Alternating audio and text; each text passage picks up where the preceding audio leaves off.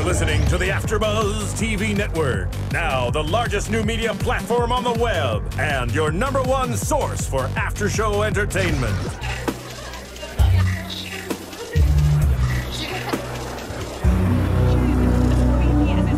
Hey everyone, I'm Kristin Carole with AfterBuzz TV, and I am here at Dolby Theater for the Paley Fest of American Horror Story Coven.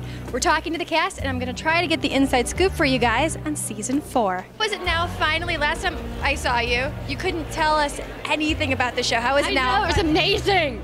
Everything, everything pulled off really great. At first, I had, at first, at certain times, I had suspicions and fears, but uh, everybody there really helped me conquer them. Uh, it's just kind of fun because you know you see the special effects and, and you see what's going on behind the scenes, so it's more fun. It's either fun or tiring, one of the two. You know, if you're on your 12th hour, you're like, okay, all right, let's get this weird scene out of the way, all right. Um, or you just think this is really cool. How was it this past season? I mean, you had so many talked about scenes. Man, Minotaur, yeah, shooting yourself in the head. I head. totally forgot that.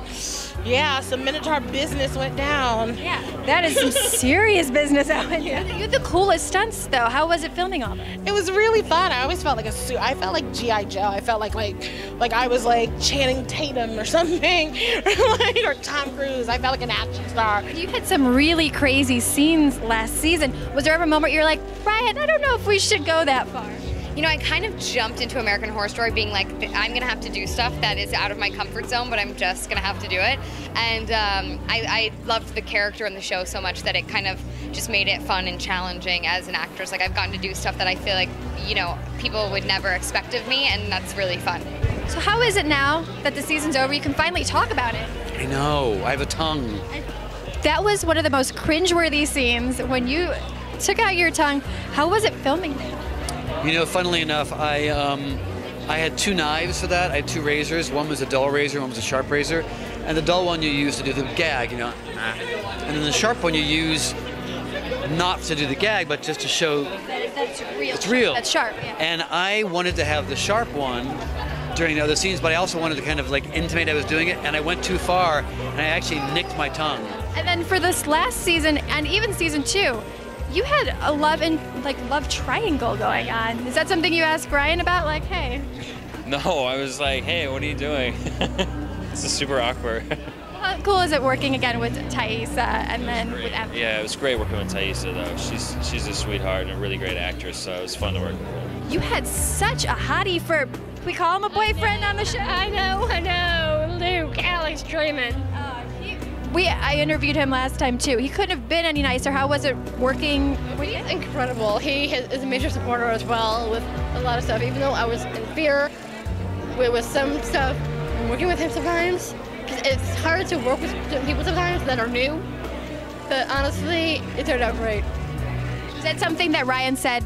By the way, Jamie, we're giving you a love interest, or were you like, hey, hey, Ryan? I was shocked actually because I didn't, really didn't hear about it from Ryan directly. I actually read it. Now I gotta ask you about season four. You're signed on, right? Yes, yes, yes, yes. I had such a good time that I'm ready to be, get my freak on. Has Ryan Murphy already talked to you about what he wants for you? Oh, no, no, not yet. And and I just have confidence that it's going to be okay. So if he likes it, I love it. With Ryan's imagination, as rich as it is, I mean, there's no limit to what's going to be in this show. I mean, I just, it'll be very interesting to read the first episode and, and see what everybody's playing. I know Freak Show's gonna be so cool. I um, I you know, I, I have no, I have no idea. I don't even know if I'm coming back, but I hope so. Uh, as far as the Freak Show, yeah, I, I mean, it's, it's gonna be amazing. I love that it's period. I think that that's really, really cool, and I love that every season kind of goes from like contemporary to period, and it kind of keeps it exciting. Ryan gives you a great challenge, and I think that's what it is. And he also likes to give you like heavy makeup on your face. Do you think when you if you do season four that that's something that that'll continue? Well, here, my, my season one, I had three and a half hours in the makeup chair. Uh, season three, I had an hour and a half in the makeup chair. So maybe if I'm in season four, it'll be a half hour. You're just cutting it down each season. Honestly, it, it, I don't really know what Ryan has in mind for this. but I want to do it. I really do. I, I really emphasize wanting to do it. I, I have a feeling it, it may be a little bit like Asylum, but not too intense as Asylum. and I never really had the chance to do it, and I really want to do it. I'm Kristin Carole for AfterBuzz TV.